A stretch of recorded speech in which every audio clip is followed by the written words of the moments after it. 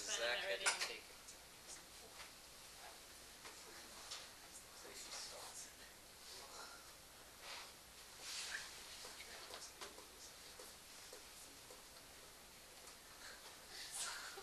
Four oh three.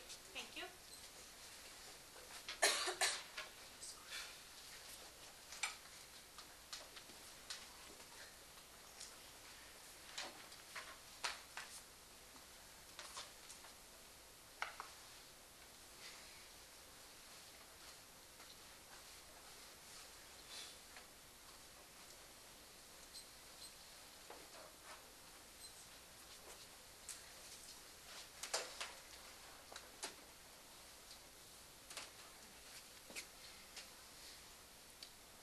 Eulogy of Zachary Kurt Charter.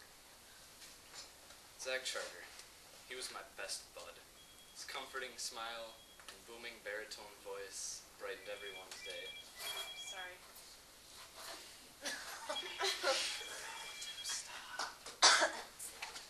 Claire, did you pause it? Oh, yeah, I paused it. That was a Sorry. great speech. Thank you, Eric. Okay, now I have to re-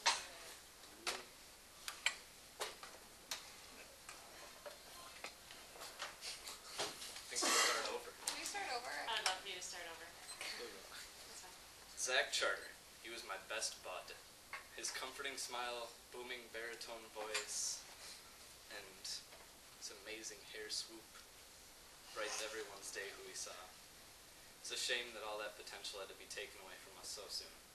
But we can't dwell on the things that he could have done. Rather, we should look on the things that he had accomplished in his short life. Zach held the impressive title of the Pinewood Derby champ for four years in a row. Needless to say, he's the best soapbox derby car maker and racer ever. Zach was also a master videographer, whether his movies were 15 minutes or just 30 seconds of him yelling really loud. Everyone loved him. Anyone who watched him always laughed after- afterward. They made them look on the brighter side of things. I actually remember when I first met Zach.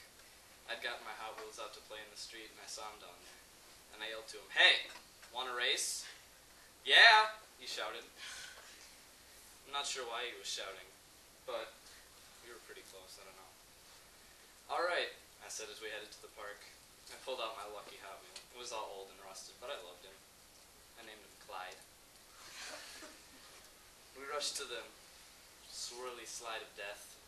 We climbed all the way up. It took a while, and we could have just went up the stairs, but we didn't.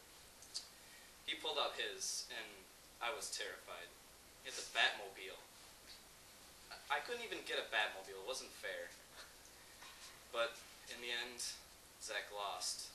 It was a miracle, and from that point on, I knew Zach could become the best Hot Wheel racer around. Our friendship only grew from there. Although we stopped racing Hot Wheels, we started doing other things. Like we took swimming lessons together and we usually played at the park. But the last thing I remember doing with Zach sledding down a hill. It was Dead Man's really big steep hill. We'd gone down it pretty slow the first time just to be safe and check things out. The last time we didn't stop for anything. We just ran down. I was using my old toboggan, so I fell back a little bit when we were in the beginning trying to get speed up. Then it came. Zach hit a jump. I didn't know what had happened. I didn't see it or anything, but I just followed after him. And somehow, right in the middle of the jump, my toboggan shattered. Splinters of wood went flying everywhere, and the bottom sliced trees. It was pretty scary. When I landed, I hit my head on the ice and fell unconscious. The rest of this is just what I was told by the paramedics who arrived first. Zach stayed with me the entire time until they came. And they tell me that right once they got there, a Yeti came up from behind him. Trying to protect me, Zach threw himself at the Yeti. I didn't want to get into the details with the doctor. I was pretty afraid. Although today we will all miss Zach dearly, we must remember that we'll always have his videos and memories that he gave us to remember him by. Just thinking about the memories I've made with him, it makes me feel like Zach is still here with us today. Honestly, I don't think I would be the person I am without Zach Charter. He helped me to become the best Hot Wheel racer that the world has ever seen. Although I don't have Zach motivating me up during races, I'll always hear his voice in my heart. I love you, Zach Charter.